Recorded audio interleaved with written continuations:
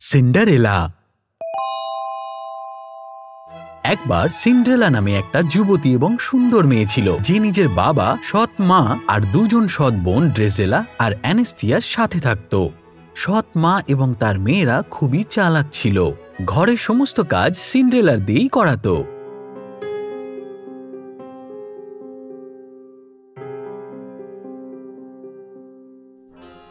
Cinderella Cinderella ঘড়ির দিকে নজর রাখো। এখনও আমি আমার চা পাইনি। ও মাথাটা যন্ত্রণা করছে। ক্ষমা চাইছি মা আমি শুধু বাহানা করা বন্ধ করো কুড়ে মেয়ে তখনই অ্যানেস্থেসিয়া সিন্ড্রেলাকে ডাকলো। ওই আলসি মেয়েটা কোথায়? তুমি কি এখনও আমার জামাটা প্রেস করে দাওনি? আমি ওটা দিতেই যাচ্ছিলাম আপনাকে। কি বললে তুমি? নোংরা মেয়ে, আমার জামায় হাত দেবার আগে হাতটা ধো। বদমাইশ কোথাকার। এভাবেই জীবন কাটাতো বেচারি সিন্ড্রেলা। রোজ সকাল থেকে সন্ধে পর্যন্ত সিন্ড্রেলা ঘরের কাজ করত। আর প্রতি রাতে সে ক্লান্ত হয়ে শুকনো ঘাস দিয়ে তৈরি খাটের ওপর শুয়ে পড়ত। একদিন সকালে যখন সিন্ড্রেলা রান্নাঘরে ছিল, তখন সে শুনল তার মা আর তার বোন কিছু একটা নিয়ে কথা বলছে। মা, রাজকুমারের বাড়ি থেকে চিঠি এসেছে। উনি রাজ্যের সকল সুন্দরী মেয়েদের ডেকে পাঠিয়েছেন, যাতে ওনার রাজকুমারী বাঁচতে পারেন। মা, অ্যানাস্তেশিয়া, আমাদের কোনো দোকানে গিয়ে গাউন বানাতে হবে। ও এটা দারুণ আনন্দের হবে। আমি একটা গ্রিন গাউন কিনবো, আর তার সাথে একটা হারও। আর আমি আইস ব্লু কালারের দারুণ একটা গাউন আর তার ওপর ছকমকে হিরের একটা হার পরবো। সব লোক আমার মেয়েদেরই পার্টিতে দেখবে। কয়েকদিন ধরে সিন্ড্রেলার মা এবং তার বোনেরা ড্রেসের দোকান স্যালন জুয়েলারি এবং জুতোর দোকানে দেখা যায় আর সিন্ড্রেলা বাড়ির কাজ করতে ব্যস্ত থাকে। শেষমেশ সেই দিনটা চলে আসলো। গ্রিজেলা অ্যানেস্থেসিয়া আর তার মা তৈরি হচ্ছিল আর সবাই সিন্ড্রেলাকে তাদের সাহায্যের জন্য ডাকছিল ওদের ড্রেস এবং মেকআপগুলোকে ঠিক করার জন্য। আমাদের গাড়ি এখন এসে গেছে মা। এখন আমাদের বেরোতেই হবে না হলে তো দেরি হয়ে যাবে। সিন্ড্রেলার বাবা সৎ মা আর তার বোনেরা পার্টির জন্য বেরিয়ে পড়ল। সিন্ড্রেলা একা একা দরজার সামনে দাঁড়িয়ে সেটা দেখতে থাকল আর কিচেনে গিয়ে সে একটা কোনায় বসে থাকল। আমাকে ছেড়ে কেন গিয়েছ? হঠাৎ করে একটা আলো ঘরের ভেতরে এলো। সিন্ড্রেলা অবাক হয়ে সেটা দেখতে থাকল আর তারপর সিন্ড্রেলা একজন সাদা চুলের বুড়িকে দেখতে পেল। ও একটা সুন্দর নীল রঙের ড্রেস আর অনেক জুয়েলারি পরেছিল। ওর হাতে একটা জাদুর ছড়ি ছিল যার উপর একটা তারা ছিল। কে? কে কে আপনি? আমি একজন পরী মা। এখন কান্নাকাটি বন্ধ করো আর বলো কি হয়েছে? না না আমার কিছু হয়নি। হুম তাহলে তুমি এত কাঁদছো কেন মা? আচ্ছা। তুমি দুঃখিত কারণ তুমি তোমার বাবা আর বোনেদের সাথে রাজকুমারের পার্টিতে যেতে পারোনি। এখন কান্না বন্ধ করো তুমিও পার্টিতে যাবে। সত্যি? আমিও যেতে পারব? হ্যাঁ একদমই মা। কিন্তু কি করে পড়ি মা? আমার কাছে না ড্রেস আছে না গাড়ি আছে। হুম তুমি কি আমাকে একটা বড় কুমড়ো দিতে পারো? একটা কুমড়ো? কিন্তু কেন? তুমি দেখছি অনেক প্রশ্ন করো মা যেমনটা বললাম করো। সিন্ড্রেলা বাইরে থেকে একটা বড় কুমড়ো নিয়ে আসলো। পরি নিজের ছড়ি দিয়ে কুমড়োটাকে ছুঁলো আর সিন্ড্রেলা চোখের সামনেই কুমড়োটা একটা সুন্দর গাড়িতে পরিণত হলো। এবার আমাদের গাড়ি চালানোর জন্য ছটা ঘোড়া লাগবে। যাও গিয়ে ইঁদুর ধরে আনো। সিন্ড্রেলা তাড়াতাড়ি গিয়ে ইঁদুর ধরা কল নিয়ে আসলো।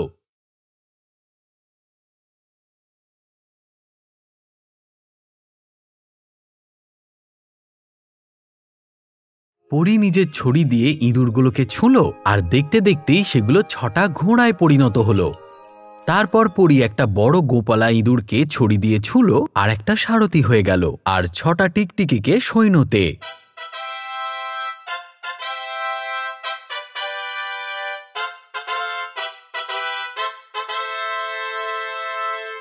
চলো, এবার সব তৈরি। পার্টির জন্য তৈরি হয়ে যাও। কিন্তু তুমি এখনও এত দুঃখিত কেন?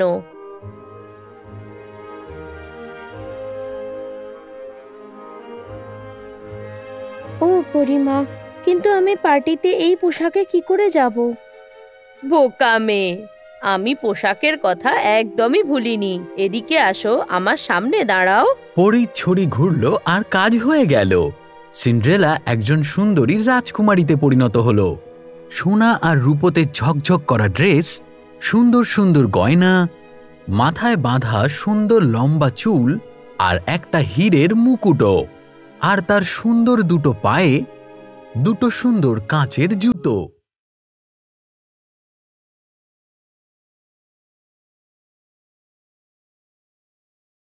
ও পরিমা এটা কি সত্যি? হ্যাঁ মা এটা একদম সত্যি। তুমি যথেষ্ট সুন্দর আর তোমার মনটাও ভালো। এবার তাড়াতাড়ি পার্টিতে যাও। সিন্ড্রেলা পরীকে জড়িয়ে ধরল আর গাড়ির দিকে হাঁটতে থাকল। এক মিনিট দাঁড়াও মা। মনে রাখবে মাঝ রাত হলেই আমার শক্তি আর কাজ করবে না। গাড়িটা কুমড়ো হয়ে যাবে আর তুমি পুরনো পোশাকে চলে আসবে। তো যখনই মাঝরাত হবে তুমি মনে করে বাড়ি চলে আসবে। হ্যাঁ আমি মনে রাখব। সব কিছুর জন্য ধন্যবাদ। আর গুড বাই। সিন্ড্রেলা গাড়িতে বসে পার্টির জন্য বেরিয়ে পড়ল।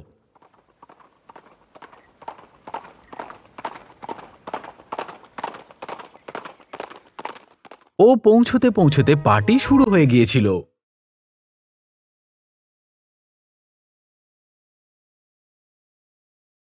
সিন্ড্রেলা সেখানে ঢুকতেই লোকেরা ঘুরে ঘুরে তাকাতে থাকল। সিন্ড্রেলা একটু ঘাবড়ে গিয়েছিল, কিন্তু রাজকুমার নিজেই তাকে দরজা থেকে নিতে এলো।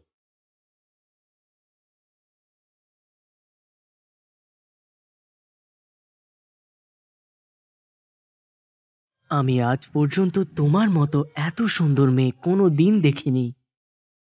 আমার সাথে ডান্স করবে? সিন্ড্রেলা রাজকুমারকে সঙ্গে সঙ্গে হ্যাঁ বলে দিল।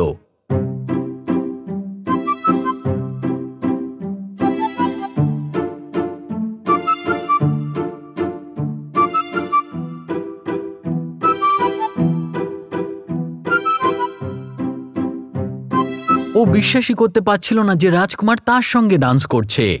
এই মেয়েটা আবার কে অ্যানাস্থেশিয়া? দেখে একটু চেনা চেনাই মনে হচ্ছে।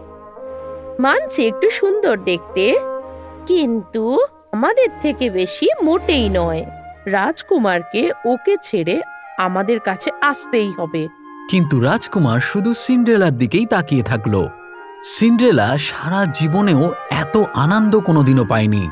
কিন্তু ঘড়ির কাঁটা বারোটার দিকে এগিয়ে যাচ্ছিল। ও রাজকুমারের হাত ছাড়িয়ে তাড়াতাড়ি বাড়ির দিকে যেতে লাগল। তাড়াহুড়ো করতে করতে তার একটা কাঁচের জুতো ছেড়ে গেল।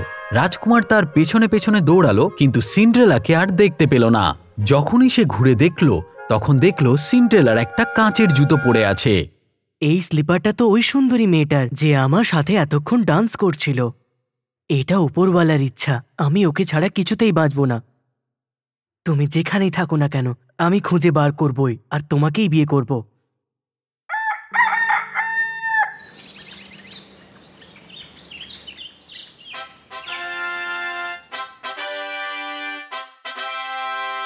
পরের দিনই রাজকুমার তার সৈন্যদেরকে ডাকলো।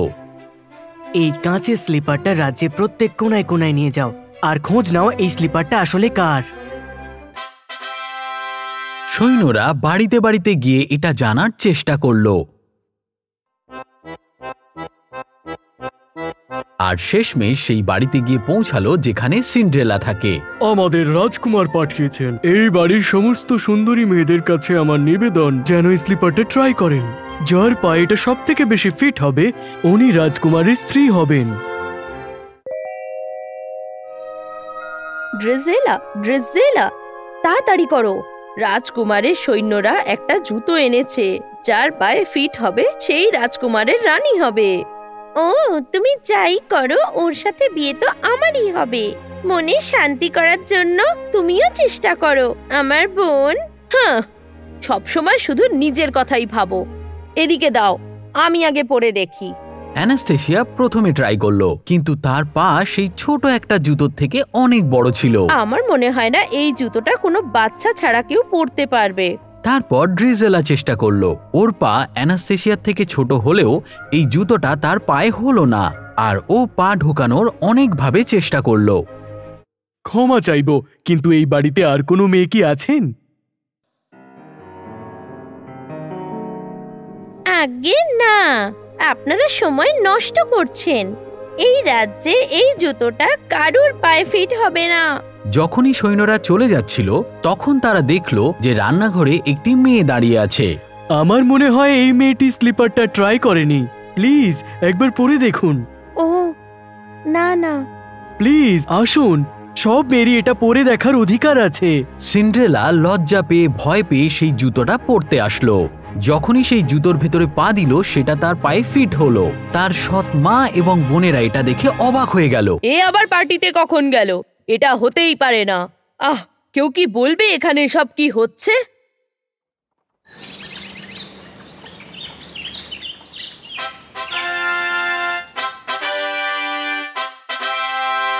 একটা খুশির খবর আছে স্যার। আমরা ওই মেয়েটাকে খুঁজে পেয়েছি যার পায়ে ওই স্লিপারটা ফিট হচ্ছে। রাজকুমার তাকে দেখেই চিনে ফেলল যদিও সে সেই পার্টি ড্রেসটা আজ পরেছিল না তার সত্ত্বেও। মহারাজা এবং মহারানীও তার ছেলে রাজকুমারের জন্য খুবই খুশি হয়েছিল। তুমি কি জানো? আমি তোমাকে যে কোনো রূপেই চিনে নিতে পারব। তুমি তো আমার মন চুরি করে নিয়েছো আর এখন আমি তোমাকে আমার রাজকুমারী বানিয়ে ছাড়বো। সারা রাজ্যে খুশিতে ভরে উঠল যখন রাজকুমার সিন্ড্রেলাকে বিয়ে করল। সিন্ড্রেলার বাড়ির লোককেও আমন্ত্রণ জানানো হলো আর তারা যেটা করেছে সেটা নিয়ে খুবই লজ্জিত ছিল। কিন্তু সুন্দর মনে সিন্ড্রেলা তাদেরকে ক্ষমা করে দিল। আমি খুবই ভাগ্যবতী যে আমি এরকম একজন স্বামী পেয়েছি। যদি উনি একবার আমার পরিবারকে এখানে থাকার অনুমতি দিতেন আমি একবার পরিমার সাথে দেখা করে ওনাকে ধন্যবাদ জানাতে চাই। সিন্ড্রেলা আর রাজকুমার বছরের পর বছর ধরে সেই রাজ্যে খুশিতে থাকতে লাগল।